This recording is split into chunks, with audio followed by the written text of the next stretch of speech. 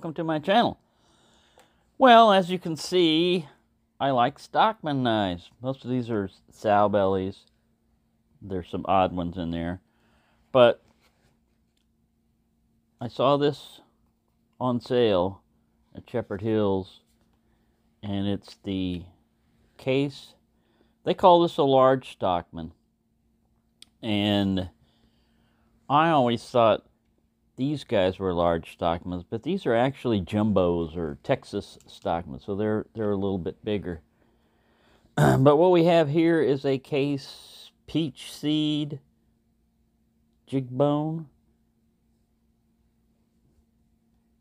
If you hold this up to the light and have light shining through it, there's a little gap in a liner back here, but I mean, it's smooth Everything is smooth. I don't feel any transitions. So I'm happy with the uh, fit and finish. Now, what we have here is there's no half stop on this. And I, I'm, I'm getting to like that better than than a half stop. The old old way. Mainly because when you're going like this and you got a half stop, it uh, you know, it'll it'll go up into that, and then from here to there, uh, and so if you're not ready for this, it'll snap back on a half stop. Let me see if I can. Does this guy have a half stop? No. I'm pretty sure this guy's got a half stop. Yeah, see that? It kind of jumps out of your hand. You're you're you're pulling the nail, pulling it like this, and then boom. You know, it's just a minor thing. If you're handling any particular knife, you're going to have to get to, used to how it works and how it feels and everything. And you can cut yourself. I can cut myself with or without a half stop. That doesn't seem to be any main feature. But if you, uh, I'm thinking of people like slick slicers that has like the use of one hand would probably have an easier time opening one of these because it's a it's not a buildup of torque. That's what I'm trying to say. Is you know like you you break the initial one and then it starts getting looser and then a little bit tighter. It's more of a gradual. You know the torque is more towards here and here instead of uh, at a 45. I don't know. I don't know why I'm getting into all that, but anyways, this one is got kind of a purplish hue to it in the box says crimson bone. So that's where you get the the kind of reddish color in there. It looks more purplish to me. Large uh, jig peachy jig large stockman 6375 and this one was born on 6 15 22 let's see, April, May, June, June, June 15th of 22. So if you look at the dots, the way they dot stuff, there are eight dots here. And so reversing it would make that a, a two year in that. In this case, 22. No match strike nail nick, but I, I think these look better actually than a than a match strike. And yeah it's traditional and everything but how many how many times are you going to go striking a match off your nail nick and these things right here are harder to clean out. I mean you can do it but they just absorb crap a lot easier. This one you just whoosh, with the blade you clean that right out. Nice transition here. It's got a pretty good lock up to it. I I'd rate this. You know, it's kind of hard. Gizmo and I were talking about this in an email.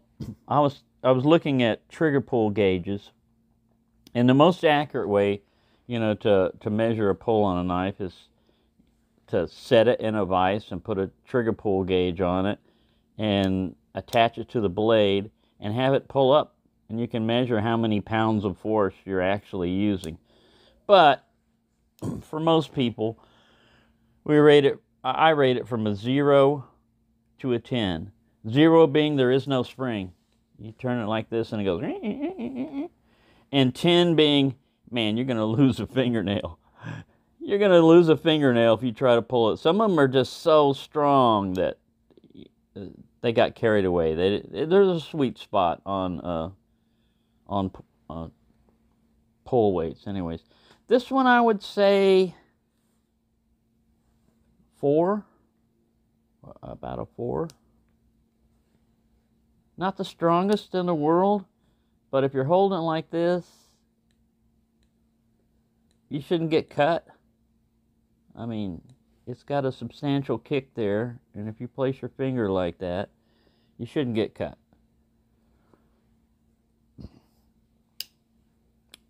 Um, so yeah, let's, that's the main blade. Let's check the length, even though they probably got it listed in specs and everything. I like to just see what we're getting here. So you've got a almost three inch cutting edge. It's like two and seven eighths. And the blade itself, if you go up to the bolster, is three and three eighths. That's on the main clip blade. All right, you switch it over to the other side and you get your sheep's foot. Nice big sheep's foot. Here's the numbers here. Six is, I think, for jig bone. Three is the number of blades, and 75 is the pattern. And then SS is for stainless steel. We got a nice little sheep's foot here. One and three quarter inch cutting edge and about two and a quarter overall if you went all the way up to the tang somehow on a sheep's foot. You'd have to be doing a lot of plunging into something. And the ever popular Spey blade. Now this guy's a little bit shorter than uh, well, you know, a Spey blade on a Stockman is shorter. I, I, was thinking about a Trapper. I was like, man, that, you that thing is as long as the other one, but I'm getting it mixed up with the Trapper. This one just has a marking of SS on it, stainless steel. We've got a one and seven eighths inch blade. I'm trying to get it up there. And about two and a quarter overall. And then, the overall length, this is square in with little, oh, what would you call those? They're not pinched. It's like angled bolsters. That little swedge there. Four, almost four and a half inches. Yeah, about about four and a half inches overall. now, Let's compare this blade to a Rough Rider and see what the difference is. It's a different shape to the Rough Rider. The clip is more downward pronounced on the case.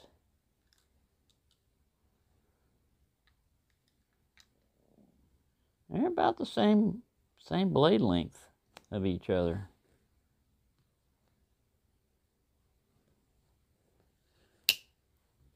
Smack! I'll smack this one. And, ooh, nice smack. Let's look right there and right there. And I don't see any blade wrap. See, to me, I don't care how much the knife is worth. If you go like this, now I know some of the French knives are don't are designed that they'll they'll blade wrap like that. But I mean, other than that, if it's a traditional knife like this, to me, the knife should be able to survive this. You know, coming down under its own tension, not not giving it extra. If you do that and you get blade wrap, in my opinion, the knife was not manufactured properly. It shouldn't have made it out of the factory. That should be one of the main tests. I mean, besides sharpness, which the burr is on this side. There's a burr on this side, all the way along the edge. So it's uniform, but it's not it's not as sharp as it could be. Now, again, this is a big controversy for some people. To me, as long as the edge is maintained, yeah, it would be nice. It would be nice since it's a knife for it to be, you know, super sharp. But sorry, all this earthquake bumping here. I'm trying to give it a good chance to cut. All right, when you do it that way, it does it does decently. Even though it's got that burr, it cut this this paper fairly cleanly. So what I'm saying is a lot of times on a case knife, you're going to get a working edge. a working edge will last longer than a shaving edge. Uh, a shaving sharp edge is nice, but a lot of times will dull out the burrs on this side. It's not on this side. And they kind of did something up here. But if you look how they grind these a lot of times, somebody's just sitting there on a belt, you know, a belt sander and going, you know, or like this. And uh, they do that all day long. It, it, what I've seen from the ones I was uh, saw of, of Case putting them together. So, anytime you've got a human operating something, this isn't too bad, but a lot of times you're going to get a narrowing up here on the belly. The burr's on this side. It's not on this side. So you can tell which is the last side they sharpened. This side. Again, it's it's probably going to be now. Considering what you're using a Spey blade for, if you're in a stock, I'd want that thing sharp. You don't you don't want it dragging or pulling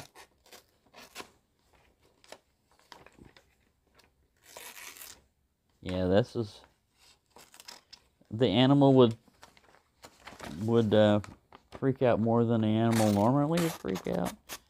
Yeah, there's some drags in there. but if you know how to sharpen a knife,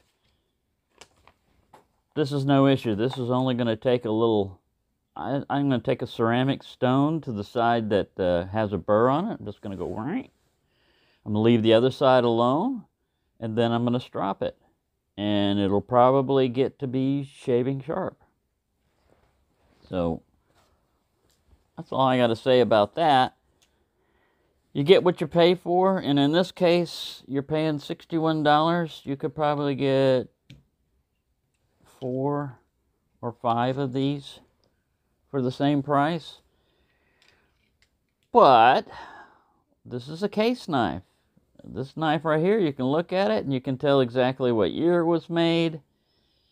And the other blade tells you what pattern it should have been. I mean, how many blades are, are in there.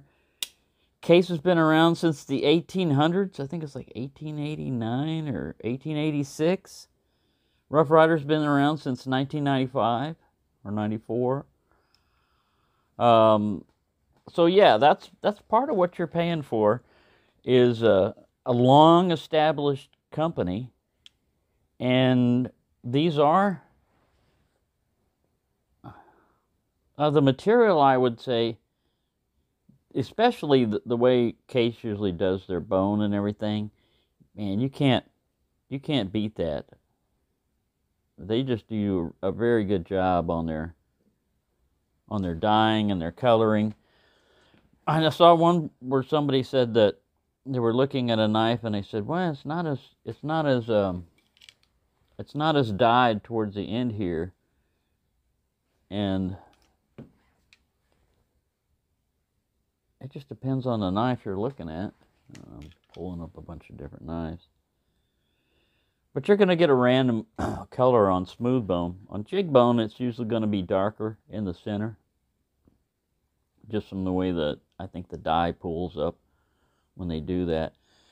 But yeah, I, I didn't have a I didn't have a, a Stockman. I didn't have a sow belly. I still got to get a case sow belly. I didn't have a sow belly. I didn't have a Stockman, and my dilemma, my dilemma on getting this knife was the amount of money. Again, you know, when you're on a budget, if if you wanted if you wanted quantity then you would get a bunch of different Rough Riders. And I was going to get four or five Stoneworks knives. And it, and I looked at the price and it was like $80. And I said, man, you know, for that price I could get a case knife. That's what usually pops up in my mind is case knives are usually um, out there in the in a price range. So I got to at least have 60 to 80 dollars, you know, usually to get one unless you're going to go with like synthetic or composite handles and stuff. You might be able to get a little bit cheaper. But you're going to spend that much money. The thing is, these are going to retain their value and go up usually. Retain and increase their value. The same can be said of these a lot of times. These will increase in their value, but if it started off as 20 dollars or fifteen dollars and it goes up to 30 yeah you've made if you sold it you know you you've made fifteen dollars. If this one starts off as 60 and goes up to a 100 you've made $40 uh, so you've got you've got a bigger range and if this thing doubled you you made $60 i'm not i'm not doing it for an an investment but it's just nice to know that the things that you're getting increase in value rather than decrease that that gives you some idea of, of you know possibly what their their intrinsic value is you know. To you this knife may do everything that this knife can do and save you money. That, that's fine. But if you're a collector this is where they get the case collectors. I think they jack the price up because they know no matter what they're going to do they're going to be able to sell uh, a lot of them, whatever pattern they put out. So I'm not I'm not beating up on Case. I I like them. Um, I didn't get in on the early cases where they had super great fit and finish supposedly, and so I don't know the difference between the early case and the older cases. But the ones I'm seeing right now, I don't feel like I've been ripped off. I don't I don't feel like you know, it's an American made company. You're going to pay a little bit more for that. And they're good knives. Um, they're good. They can be good working knives too. A lot of people buy these not to not to show off, but to use. You know. So there you go. That's that's just my little, you know, thing on uh, Stockman knives. I think it's a great pattern. You usually get three blades You've got a variety of what you need. So in, in one pocket, you've basically got three knives. And what does this guy weigh? I think it's like three ounces or so, a little bit, a little bit more. All y'all are gonna have to scoot back because you're gonna affect the, the weight. Get back there. All right, I think we're in grams. 107 grams. 3.78 ounces. So, there you go. Well, that's my latest case knife. I got it from Shepherd Hills. It was on special. You could probably get them two if you wanted one. So, there you go. Thank you for watching and have a nice day.